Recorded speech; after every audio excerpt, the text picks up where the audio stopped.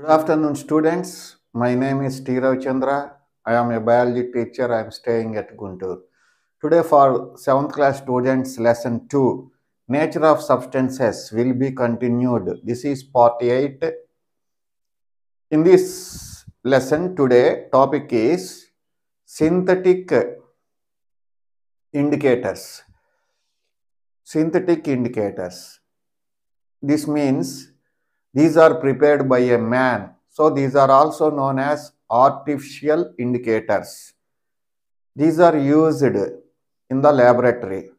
Examples phenolphthalein and methyl orange and blue litmus, red litmus papers. Synthetic indicators అన్న artificial indicators అన్న man made indicators అన్న మూడు ఒకటే synthetic అంటే meaning ఏంటంటే మ్యాన్ మేడ్ మనిషితే తయారు చేయబడిన ఇండికేటర్స్ ఇవి. ఇవి ప్రయోగశాలలో ఎక్కువగా ఉపయోగిస్తారు. దీస్ ఆర్ అంటే these synthetic indicators change their colours in different different solutions ఇవి ఈ సింథటిక్ ఇండికేటర్స్ అనేవి వేరువేరు ద్రావణాలతో వేరువేరు ద్రావణాల్లో వేసినప్పుడు ఈ సింథటిక్ ఇండికేటర్స్ రంగు మారిపోతూ ఉంటుంది. అంటే రంగులను మారుస్తూ ఉంటాయి. ఇక్కడ నేను ఈరోజు వీడియోలో I had drawn a table form on the black board ఈ బ్లాక్ బోర్డ్లో నేను ఒక టేబుల్ ఫామ్ వేసాను అందులో I had taken some solutions ఇక్కడ నేను కొన్ని ద్రావణాలు తీసుకున్నాను. వాటిల్లో కొన్ని యాసిడ్స్ ఉన్నాయి బేసెస్ ఉన్నాయి న్యూట్రల్స్ కూడా ఉన్నాయి. అంటే ఈ సొల్యూషన్స్లో some of them solutions have are consist acids some of them consist bases consist అంటే ఉండుట కలిగి ఉండుట హ్యావింగ్ అని. కొన్ని ఏమో న్యూట్రల్స్ అంటే కొన్ని యాసిడ్స్ కావు బేసెస్ కావు. మరి ఇలాంటి వాటి మీద సింథటిక్ ఇండికేటర్స్ వేసినప్పుడు వాటి యొక్క రంగు ఏ విధంగా మారుతుందో వినండి. First name of the solution. Dilute HCl. Dilute అంటే more water is added to HCl.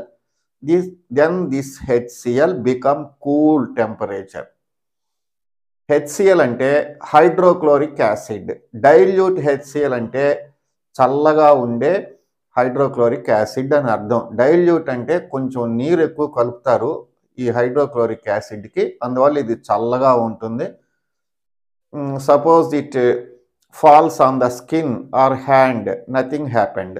ఇది ఒకవేళ చేతి మీద పడ్డా చర్మం మీద పడ్డా చర్మం ఏమి ఏమి అవదు చర్మానికి. అంటే చర్మానికి ఏమి no rashes. It does not burn the skin or hand చర్మాన్ని కానీ చేతిని కానీ ఇదేమి విధమైన బొబ్బలు రావు. ఇది కా కాలదు కూడా. మరి డైల్యూట్ హెచ్సిఎల్ మీద డైల్యూట్ హెచ్సిఎల్ అంటే హైడ్రోక్లోరిక్ యాసిడ్ మీద red litmus paper red litmus పేపర్ని డైల్యూట్ హెచ్సిఎల్లో పెడితే it doesn't have no change no colour red litmus పేపర్ని హైడ్రోక్లోరిక్ యాసిడ్లో పెడితే ఏ విధమైన రంగు రాదు. అదే blue litmus paper dipped into HCl blue litmus పేపర్ని హైడ్రోక్లోరిక్ యాసిడ్లో డిప్ అంటే ముంచితే the blue litmus paper turns into red colour. Blue litmus paper ఎరుపు రంగులోకి వస్తుంది. Correct. Next methyl orange. You add one or two drops to hydrochloric acid. Methyl orange turns into red colour. Methyl orange hydrochloric యాసిడ్లో వేస్తే methyl orange ఎరుపు రంగులోకి వస్తుంది. అదే phenolphthalein. Phenolphthalein is one or two drops added to HCl it doesn't have no colour ఏ విధమైన రంగు రాదు. అంటే ఫినాఫ్థలిన్ని hydrochloric యాసిడ్లో వేస్తే అంటే యాసిడ్లో వేస్తే ఏ విధమైన రంగు రాదు. మరి అట్లాగే ఇక్కడ ఒక బేస్ ఉంది. Sodium hydroxide is a base ఇంతకుముందు చెప్పింది యాసిడ్ ఇప్పుడు చెప్పేది base red litmus paper touch with sodium hydroxide red litmus paper turns into blue colour red litmus పేపర్ని సోడియం హైడ్రాక్సైడ్ అంటే బేస్తో తాకితే రెడ్ లిట్మస్ పేపర్ బ్లూ కలర్లోకి వస్తుంది.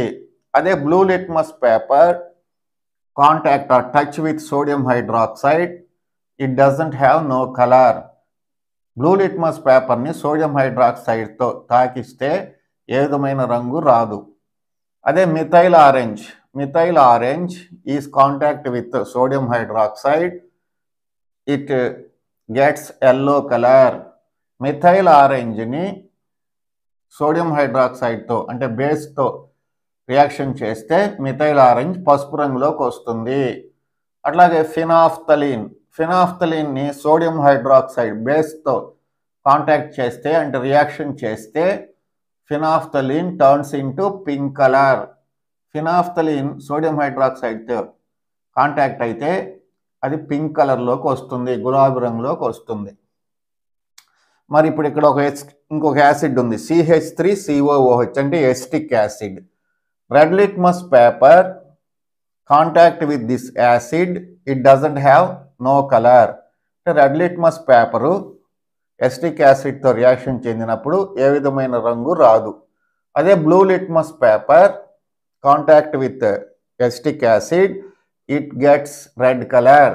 Blue litmus paper CH three COOH అంటే ఎస్టిక్ యాసిడ్తో reaction చెందినప్పుడు blue litmus paper turns into red colour. Blue litmus paper ఎరుపు రంగులోకి మారుతుంది. అలాగే methyl orange. Methyl orange contact with acid acetic acid it change into red colour methyl orange acetic యాసిడ్తో reaction చేస్తే methyl ఆరెంజ్కి ఎరుపు రంగు వస్తుంది. అట్లాగే similarly phenolphthalein contacts with CH three COOH అంటే ఫినాఫ్తలీన్ ఎస్టిక్ యాసిడ్తో రియాక్షన్ చెందితే phenolphthalein doesn't have no colour ఫినాఫ్థలీన్కి ఏ విధమైన రంగు రాదు. అట్లాగే salt solution red litmus paper contact with salt solution it doesn't have no no colour red litmus పేపర్ని salt సొల్యూషన్లో వేసి అంటే సాల్ట్ సొల్యూషన్లో యాసిడ్ ఉండదు బేస్ ఉండదు. గుర్తుపెట్టుకోండి. Salt సొల్యూషన్లో acid is not there acid is absent base also absent కాబట్టి ఉప్పు ద్రావణంలో యాసిడ్ లేదు బేస్ లేదు ఆమ్లము లేదు క్షారము లేదు.